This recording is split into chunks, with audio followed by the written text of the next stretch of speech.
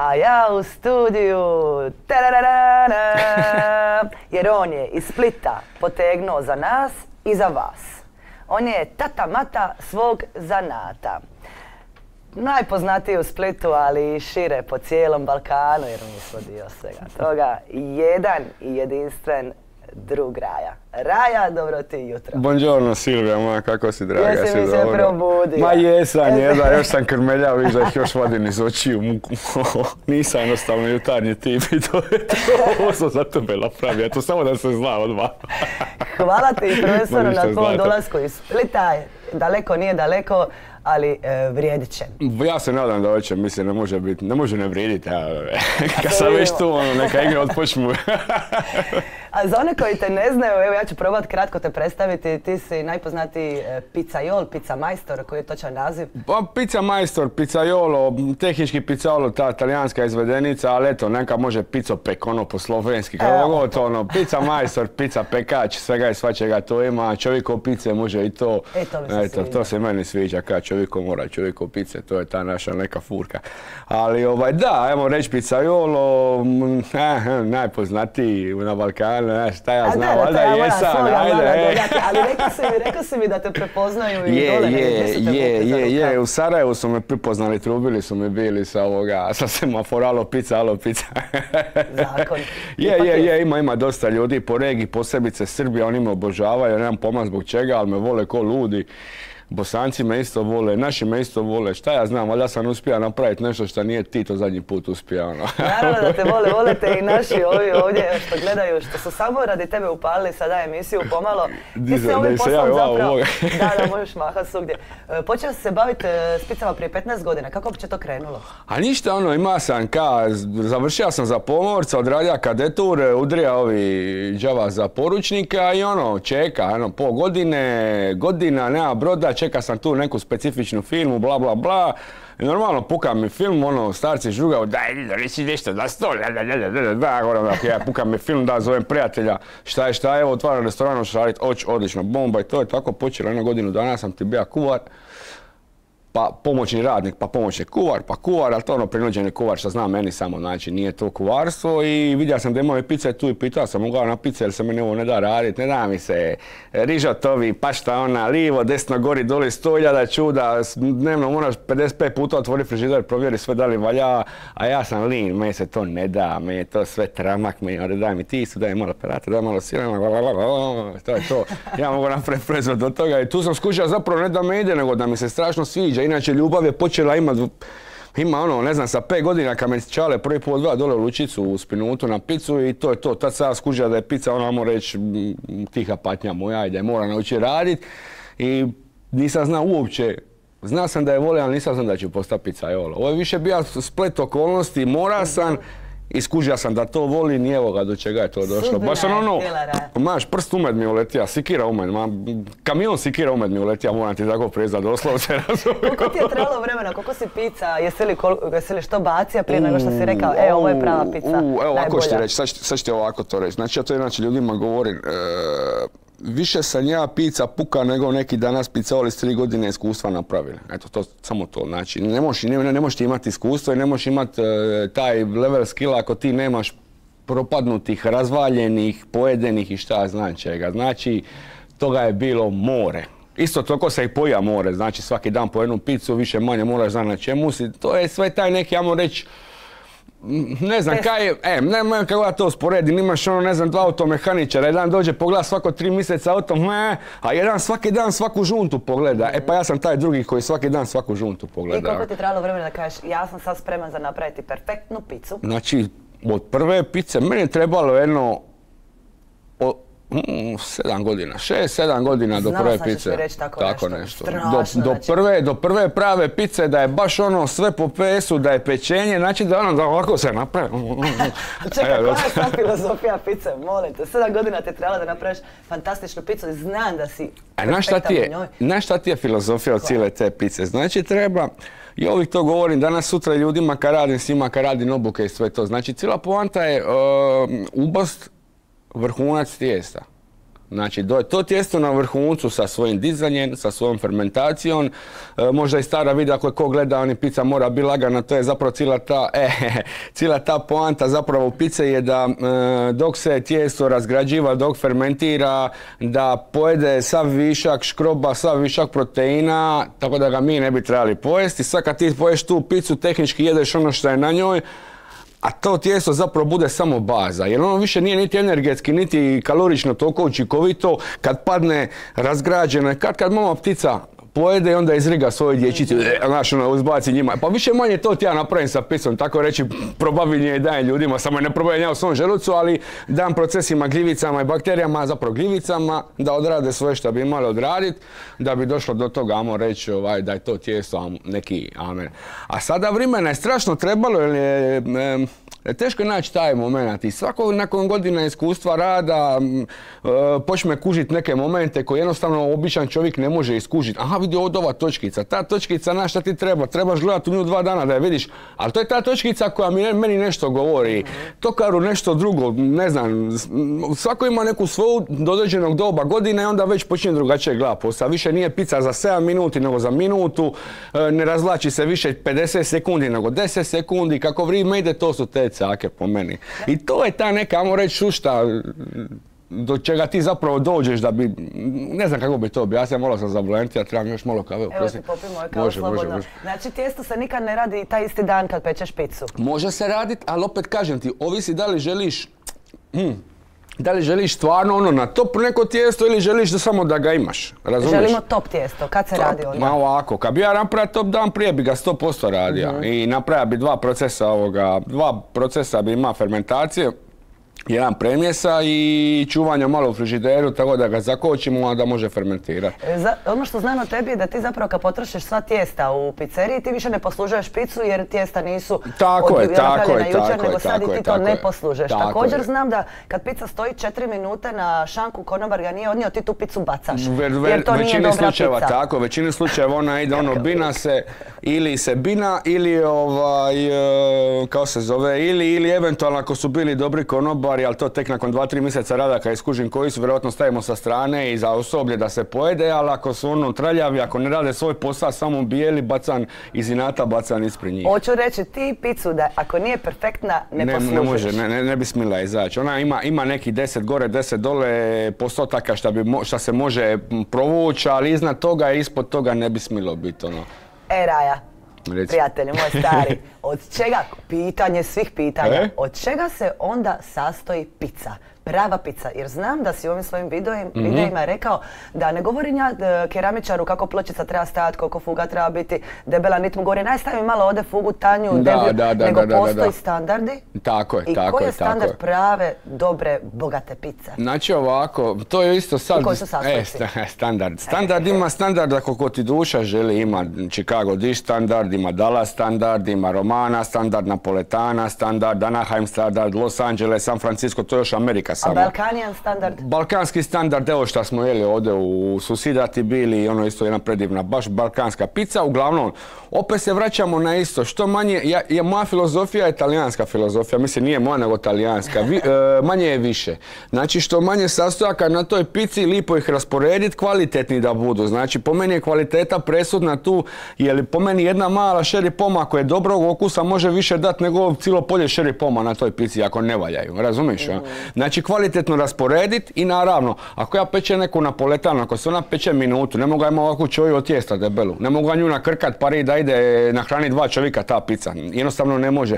To se sve treba paziti, koja je temperatura peći, kolika su ovaj, e, koja je namirnica koja ide na nju, je nešto premasno, jer se treba zakuvati, jer se treba zapeći ovo i ono, uglavnom sve imamo reći neki svoj Džir i sad kad sam ti ovo malo prije spomenuo što si me pitala što bi bila prava pizza. Znači jednostavno treba se znati koji tip pice želiš i na račun toga izvući šta ti treba. Jer recimo jedna pizza što se peče na 280 do 300 stupnjeva i druga što se peče kao ja na 480 stupnjeva ne mogu imati iste karakteristike u tijestu i u samome slaganju i na kraju krajeva i stasvicima šta idu jedna sa drugom. Jer jednostavno velike su razlike pečenja. Ova će ta izgoriti na ovoj, na ovoj temperaturi, neš dobi ništa A ova ovdje štede na 480 da je staviš na manju temperaturu bila bi komad karte. Znači ono doslovno možeš polomiti priko noge i vjerojatno mi puka kolino prije nego slomija tu picu priko kolina. Čekaj, sir uvijek ide zadnji. Ne, sir bi treba biti po meni ovako, posebice što se tiče, hoćemo se na neku napoletanu sad, ajde ovako. Napoletana znači, veoma jednostavno razvučemo tijesto, uzmemo onu žlicu,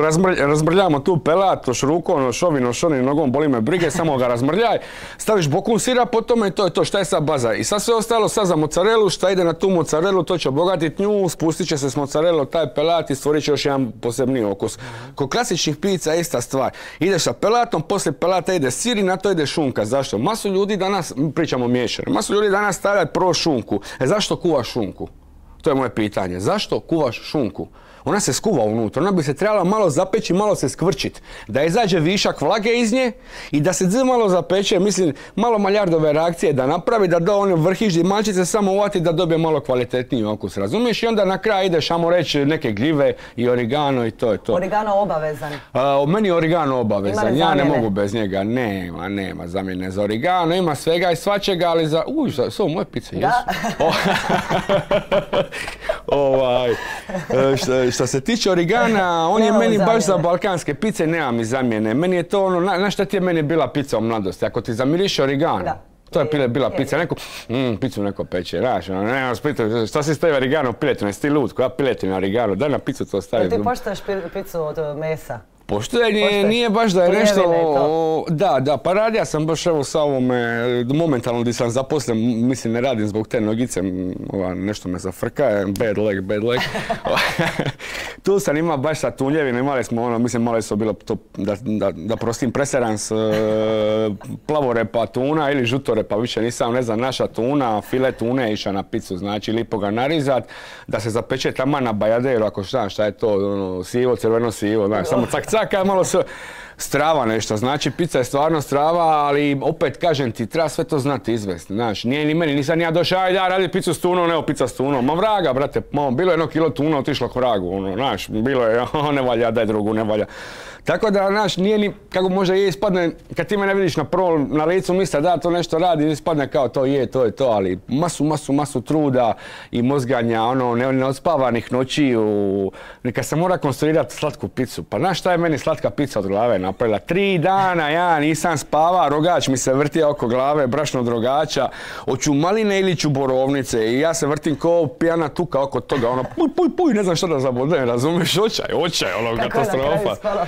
Odlična je ispala, stavio sam na kraju sam ono, jedno i drugo to maka, stavili smo bili smokve, stavili smo kozi sir, pistačo i to je sve bilo na bazi ovoga, e, na bazi tijesta od drogača. Odlično. Mm. To je brašno drogača, ima no, malo strava nešto. Ono. Alat, jako važna stvar. U, najbitnija stvar, najbitnija. Znam da ti moga pričao samo o onoj lopati 10 minuta. Znači što imamo, špatulu, lopatu, koja pa imamo, Imamo, reći dvije, imamo Ajde ne spominjemo pečka alat, nju ćemo spomenuti kao živo biće, ali spomenut ćemo, znači to je sitni alat, imamo glavnu lopatu, Pizza pala, znači promjera između 24 do, do 50, do 60 pa do metra dužine za pol metra širine za picu od metra. Imamo male paletine, se zovu za vadit. Znači jedna lopata je za bacat picu u peć, druga lopata je za vadit picu iz peći, a treća lopata je, znači imaš i tri lopate ako radiš sa drvom, i moraš mrljat po peći, moraš mrljat ovi žeravu, ja nema šanse da ću uzeti ovu lopatu što mi vadi picu i mrljat tu žeravu. Znači mora ima sa strane posebnu lopatu i zato onda ti treba jedna mala ovaj, četka da možeš tu i tamo obrisati ovi šamot.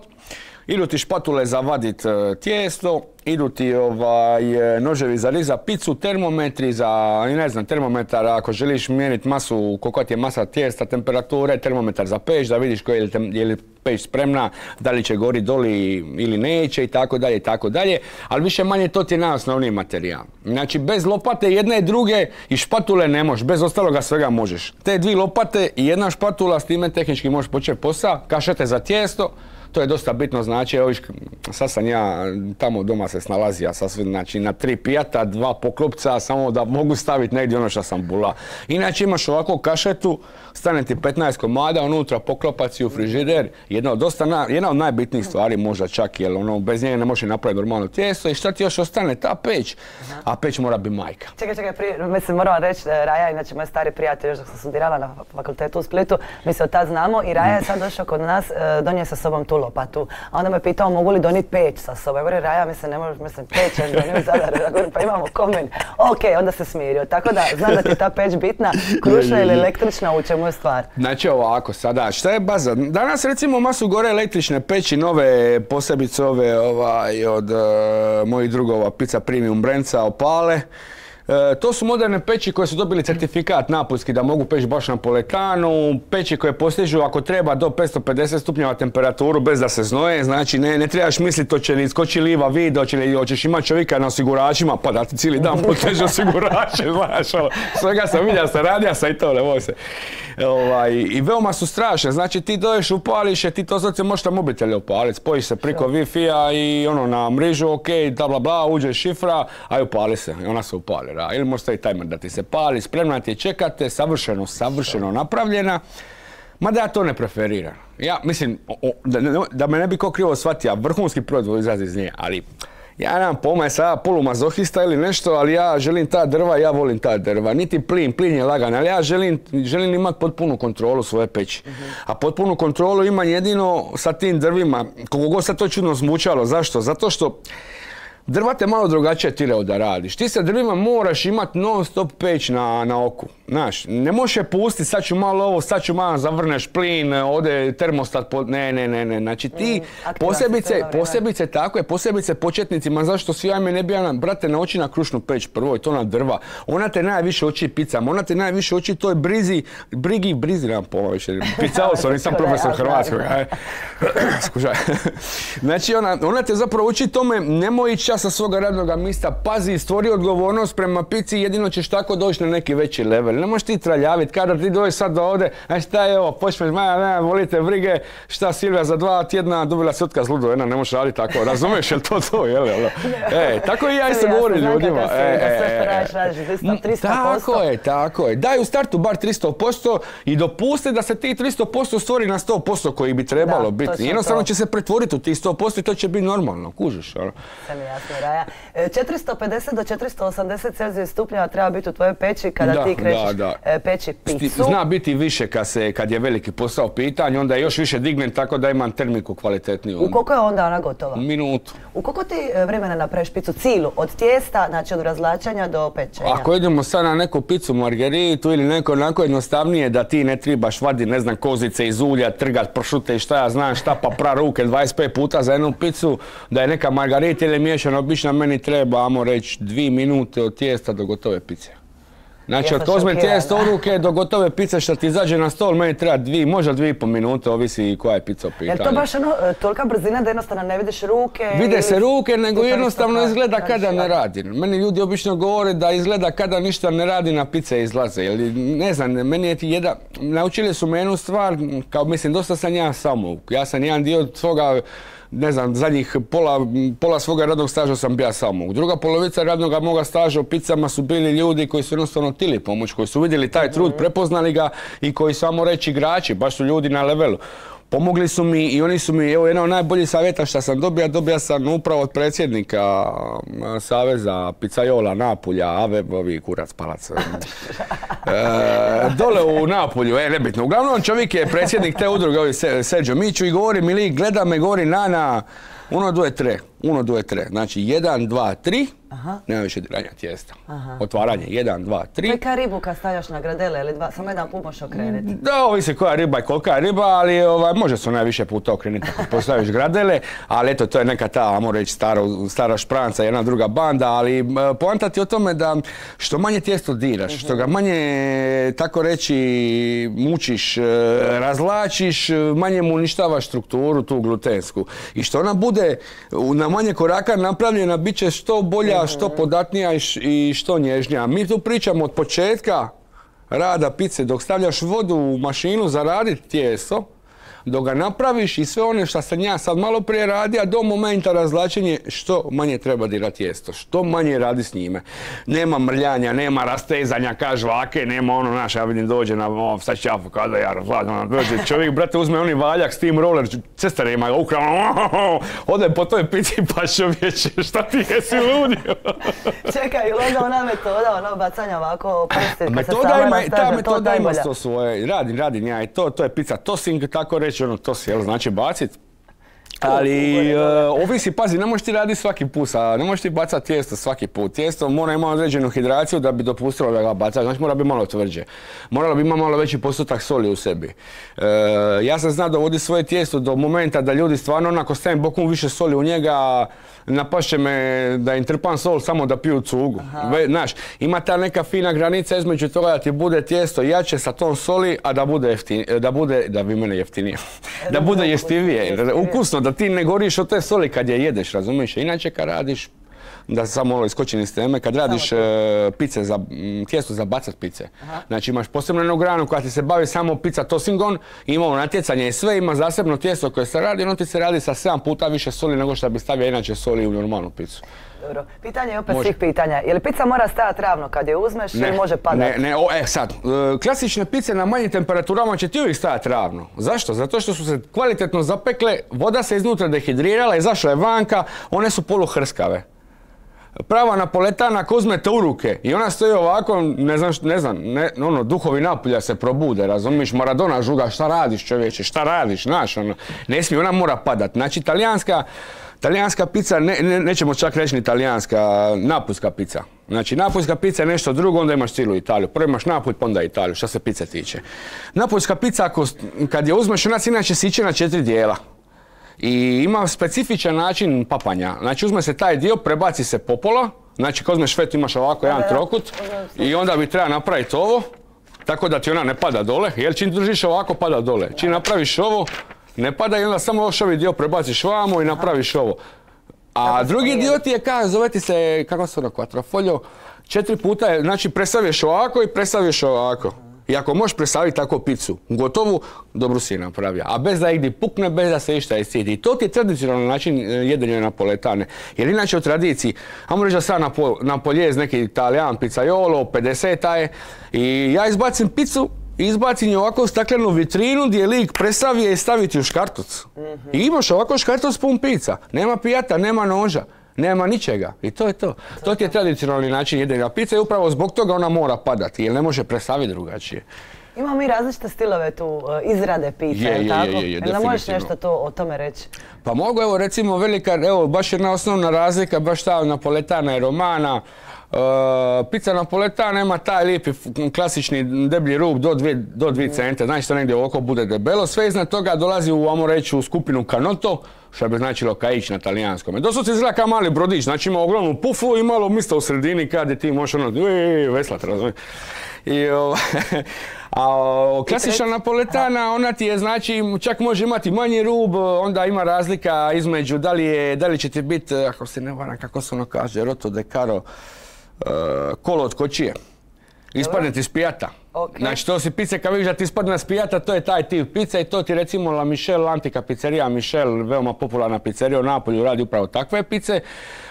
Onda imaš ovaj, e, još malo tih varijacija na temu. Ja recimo ne radim napoletano, ja radim ala napoletano. Znači, moram to spomenuti jer ovaj, ljudi kao, to je, ja govorim, nije ovo autentična napoletana, prvo ni na polje, gdje smo mi u Napolju, ni to može biti onda autentična napolja. A treća stvar, niti radim po recepturi, ja imam promijenjenu recepturu jer meni se jednostavno nije sviđalo par elemenata te pice, e, respekt veliki prema njoj da pače, ali zašto bi uzeo nešto što nije dobro, znaš, jednostavno mi se nije svidjelo, nije mi se svidjela ta njezina žilavost i nakon 7 minuti što ti ona lagano se već oladi i skoro i neupotrebiva, kužiš, ono, žilava, nije više to ta pizza, ali ja sam dobio malo da, da ti nakon, ne znam, 5 sati što se moja pizza ispeče, otvoriš tu kutiju ili izvadiš sa pijata, ti je možeš pojesti dalje mekana i dalje podatna i dalje jestiva. Eto, to je meni bila ideja. Ono. Ostane tu još e, malo, morate prekinuti, može, tamo mi javljaju da moram napustiti Katinu u eter, a volimo Raju, pričat ćemo s njim još satima, ako treba sve ćemo mi to zaboraviti, ove sljedeće goste, ali Katinu moramo pustiti. E, Raja ostane u studiju. E, Katina, gdje si sad?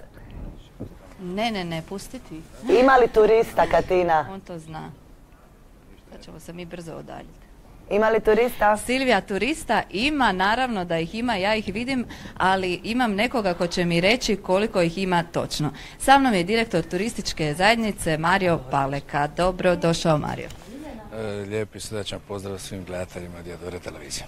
E, hvala. E, recite nam koliko ima turista u Zadru trenutno? Pa u ovom trenutku smo negdje na 8000 turista u gradu Zadru, nas to zaista veseli, evo rezultati su fantastični, ja moram napomenuti da smo ostvarili negdje oko 90% noćenja, odnosno 70 i nešto posto dolazaka u odnosu na onu rekordnu 2019. godinu, ali veseli činjenica je spoznaja da je zapravo mjesec lipanj ostvario 2% više noćenja u odnosu na onu rekordnu godinu 2019. i što uljeva određenu dozu optimizma za ostatak e, glavnih dijela sezone, odnosno po sezoni. E, kakva je struktura, odakle nam gosti dolaze? Pa klasika, dakle najviše Njemaca, odnosno imaju domaći gosti, tu su Slovenci, tu su Austrijanci, Poljaci. Mislim, tržišta na kojima smo mi već dugi niz godina prisutni, no vjerujemo da i očekujemo zapravo one poželjne goste, to su gosti iz Velike Britanije, odnosno Sjedinjenih američkih država, iako se stvore uvjeti, jasno sa istočnih zemalja kao što je bilo u prethodnim godinama. E, Kakvu im e, ponudu nudimo što se tiče događaja, što smo organizirali, što turistička zajednica, što pojedinci? Pa moram naglasiti da nije samo turistička zajednica ta koja treba organizirati manifestacije, dakle mi smo tu najvećim dijelom podrška i potpora, ali moram pohvaliti dakle i kolege iz Hrvatskog narodnog kazališta, odnosno iz koncertnog ureda, Turistička zajednica grada Zadra ima jako puno programa, možete otići slobodno na naše stranice turističke zajednice gdje su zapravo svi programi sažeti, odnosno sve manifestacije. Biće jako, jako interesantnih e, manifestacija gdje ja pozivam ovim puta i lokalno građanstvo i one turiste koji se nađu i zateknu na području grada Zadra da posjete sve manifestacije.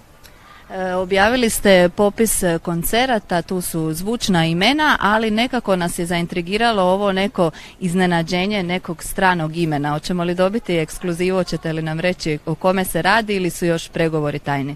Pa ja moram reći da turistička zajednica svake godine promišlja i nama je u interesu intencija zapravo i da kroz vrijeme adventa, dakle u zimskom dijelu sezone imamo nekako zvučno imeno, međutim pandemija ne pravdamo se sad pandemijom, ali sigurno da je zaustavila određeni dio projekata.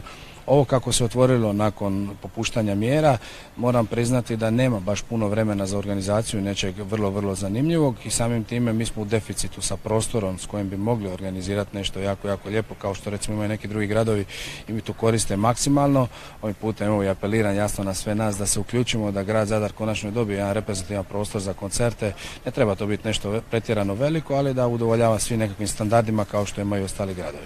U pregovorima jesmo, zapravo tvrtke koje su nas se javile imaju neka određena imena, mi ne znamo još uvijek, dakle ukoliko se ukaže prilika da ispoštujemo e, mogućnost e, organizacije nekakvog iznenađujućeg koncerta, mi ćemo biti jasno ta maksimalna podrška tom, toj firmi koja bi trebala jasno e, projicirati taj koncert. Podrška ste i u organizaciji Sunset festivala, to je ovako zanimljivi spektakl na pozdravu suncu. Da, to smo krenuli prošle godine i moram priznati da je jako dobro sjelo svima, nekima nije, nažalost ne prepoznaju zapravo čemu se tu radi. Jako veliki fond sredstava grad Zadar i, turistička zajednica grada Zadra i županija i županijska turistička zajednica e, izdvajaju za uh, inozemne letove, to jest za strateške projekte, za E, kompanije koje dovode goste u destinaciju Zadar Zadarske županije, međutim veliki dijelom ti gosti odlaze u neke druge županije. Naša intencija je bila zapravo da ti gosti koji, koji, koji dođu upravo tim aviokompanijama da se u određenom trenutku i zadrže na području grada Zadra, da imaju svoju i potrošnju, da je doživlja i tako dalje. I mi nismo išli u pravcu kao što to idu neki drugi gradovi, dakle Split i ostali na, na veliku količinu, veliku masu, mi smo htjeli zadržati taj jedan festival koji će imati jedan butik preznak, lokacija je jedna fantastična, mi brendiramo grad Zadar kroz Sunset. Sunset je poznat brend i od prije još, tako da nešto čime se mi moramo ponositi, što moramo jasno gurati kroz čitavo vrijeme. I to je jedan određeni sadržaj za mladu populaciju koja će se naći na području grada Zadara. E, Sunset još od Hitchcocka e, poznata ove dvije godine isto kao da je pomalo režirao Hitchcock pandemija, sve je bilo nekako utihnulo iako smo mi ovdje relativno i radili nešto u samoj sezoni. Međutim, e, što se događa poslije? Evo sad je krenuo boom, jesmo li zadovoljni kako se naš turizam razvija? Pa ako ste pratili kroz dvije godine pandemije, turistička zajednica je komunicirala da je ovo izvrsna prilika da se resetiramo, da jasno krenemo nekakve trendove u korist kvalitetnog proizvoda. No čini mi se da čim su se stvorili uvjeti da je svak zaboravio da bi to trebalo raditi kako bi dugoročno mogli promišljati, imati benefite, ubirati plodove upravo jednog kvalitetnog turističkog proizvoda, čini mi se da jednostavno svi se odlučili, nastavili upravo u onom trendu, odnosno nastavili su onaj trend koji se događao kroz 18. 19. kad su zapravo bile rekordne godine.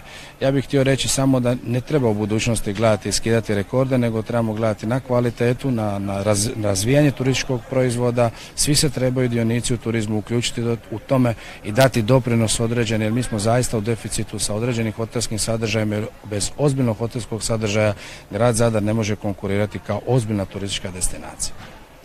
A što se tiče kvalitete e, usluge, e, možda e, i turističkih djelatnika, znamo da smo imali i problem s tim, nedostaje radne snage, pada li tu kvaliteta? Pa evo, mi se sad suočavamo sa jednim vrlo ozbiljnim problemom koji nije prisutan samo ove godine, on je prisutan i od prije. Pa kažem, nismo iskoristili ove dvije godine, na svu sreću mi imamo i turističku gostiteljsku školu i ja vjerujem da će kroz budućnost sigurno ta škola proizvesti određene kadrove koji, za kojima mi vapimo, no međutim mi smo u dio Europske unije. To je najnormalniji trend svugdje u svijetu, pa tako evo kod nas dolazi da nam djelatnici iz ostalih država zapravo spašavaju sezonu. E, nije nužno e, da će raditi lošije, jel tako? Pa gledajte, svaki ima svoje određena iskustva, ja vjerujem da, da, da sigurno sa kvalitetnim upravljanjem kadra u određenom segmentu se može napraviti puno, ali se treba i ulagati. Odlično. E, Mario, imate li što za dodati? Pa nema, ne, evo ja veseli nas, kažem, ta spoznaja da, da, da, da je ova turistička sezona dobra, da je sve u redu, najave su jako, jako dobre, hotelske kuće su zapravo zadovoljne sa svojim e, i najavljuju da će ovaj glavni dio sezone, a i po sezone biti zapravo jedan pozitivan trend. I ja vjerujem da, da, da svi u konačnici možemo biti zadovoljni obzirom na situaciju koju smo imali u pretekle dvije godine i vjerujem da ćemo se opametiti svi skupa i doprinijeti kvalitetnijem turističkom proizvodu za iduću godinu. Hvala puno na gostovanju. Hvala i vam. Draga moja Silvija, evo nismo mi e, turisti u svom gradu, osjećamo se tu jako dobro i domaće, a i e, želimo uvijek e, dobrodošlicu svim našim posjetiteljima. Tebi pozdrav, sigurna sam da je i tebi dobro u studiju. Meni je najbolje u studiju jer ja sam u društvu druga Raje, Raja Ratko Tomić pravim imenom i prezimenom, no svi ga znaju kao Raja jer on jest čovjek od Raje, ali... Raja za Raju, e. Raja prekinula nas je Katina s ovom statistikom i hvala je na tome, ali evo samo da još pitan jedno pitanje pa te pušćam i onda ti se vraćam. E, znači kako bi ti ocjenio kvalitetu pizza kod nas e, Hrvata općenito? Znači moram baš stvarno priznat, možda prije 10-15 godina nije bilo ni blizu, bile su te naše klasike, ali danas Znači u 2022. Evo samo baš uzeti da neću uzeti grad u kojem sam ja, niti Zadar, niti ne znam specifično, nego cijelu Hrvatsku, predivna je scena. Znači imamo predivnih picajola koji rade svoj posao genijalno. Čak su na nevoj susidi priko bande ovaj, u Srbiji su isto ono manijakalno počeli raditi, samo njih malo još, malo ih zafrkaju, nabave sve to, ali svjetski prvak u STG kategoriji napoletanske pice je Goran Abramović, Srbin.